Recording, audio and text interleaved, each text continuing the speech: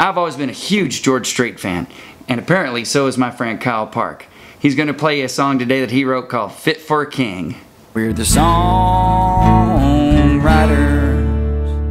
This is my buddy Kyle Park. We've written a bunch of songs together. We wrote The Night is Young, which was his number one. Yep, that's right. My first one, I think. And we wrote uh, uh, What Goes Around Comes Around. Yep. That was a top 10, I think, right? Yep, that was. We wrote a song about Facebook called Tagged. which yeah.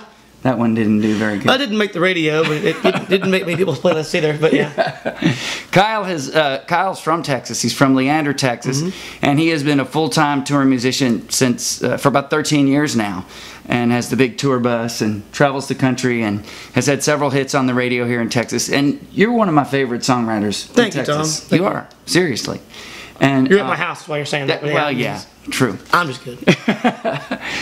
What's it like being an independent artist in Texas? It's the fact that no one is really in control of what I'm doing except me as far as the songs I record, the venues I play, and, and all that good stuff, the style of music I record. Mm-hmm. And it's, it's it's also important to just stay true. And I, not that you can't stay true by being something but independent, but it, it it feels good for it to be on my shoulders, whether it's you know success or or failure. It's it's on me, and I, I like that Yeah. feeling.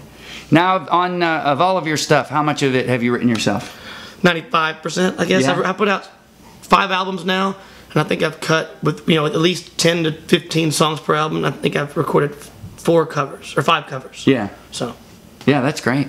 So now, what is your uh, what is your latest record that you got out? newest one's called "Don't Forget Where You Come From," and it's no doubt my most personal record to date. As far as I mean, the songs I wrote are about you know my father, my my fiance Brandy, my, the, the the American farmer, the the rodeo cowboy. It is about you know God and faith and about drinking beer and dance at the Yeah. bars. You know, it's, it's about all those things in between. It's just country music to a T. All our favorite subjects. Yeah.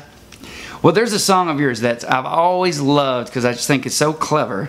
It's called "Fit for a King," Yeah, and it's your George Strait tribute. it is. So, uh, where did this song come from? And has George heard it? Well, I, I know he's heard it. Not, I haven't played it for him per se, but uh, I do every night. I play it for him Yeah. every time, right? Yeah. no, but uh, I, this song came about. I was 19 years old and wrote this song, and and the idea came about when I heard a Clint Black song that he. It's called "Tuckered Out," where he took Oh, a bunch yeah. of artist names. Yeah. I thought, what about instead of artist names, I do song titles? And by the way, if you hear us panting, there's my, my my lap down here. Can you see it? No, you can't see it. Uh, but you know, the, the idea is yes, instead of artist names, do song titles. And at first, it was just a bunch of different artist songs like Merle and Conway. And I thought it's kind of confusing to know what's going on because there are so many great one-liners Yeah. that are are songs and aren't songs. Right. So I thought, how about just one artist? And picked George Strait, of course. He's the guy, and uh, yeah. So I. All my George Strait CDs, laid them out on the carpet in, in the old house, and just started writing them down one by one, so it worked. Yeah. And it turned into a story. It did. It Ended up being an actual new song. It, it's not just random lyrics. It is an actual Right. story. So It's pretty much all the titles of George Strait songs made into a story. that's right. Yeah, 31 to be exact. 31. 31 George Strait songs in this song. So All right, here's Kyle Park doing "Fit for a King." here we go.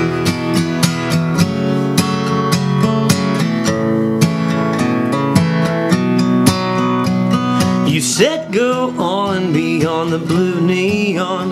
As I'm as gone as a girl can get. Out of the blue clear sky, you've gotten good and goodbye. What do you say to that?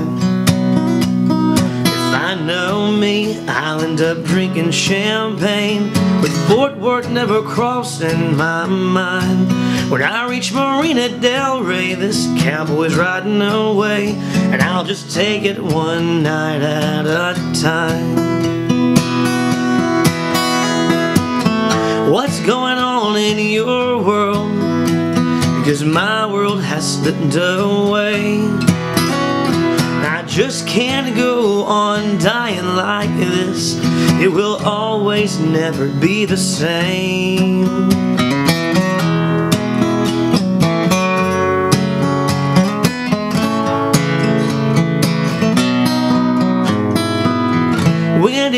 Stop loving me? I didn't come to expect that from you.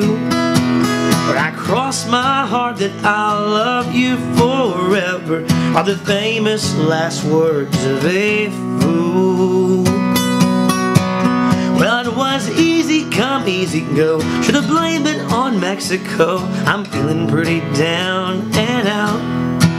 But I've got this 80 proof bottle of tear stopper to make me feel a little unwound. Right or wrong, you look so good in love. And darling, you know it's true. You're something special to me. I've got this fool-hearted memory. And I'll always be the man in love with you.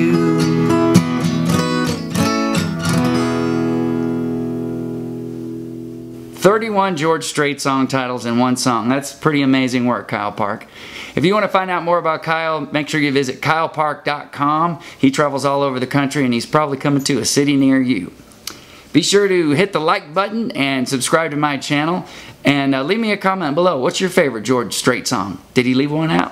Hmm, I don't know. He got a lot of them in there. If you want to learn more about songwriting, be sure to visit thomshepherd.com, and we will see you next time. We're the songwriters.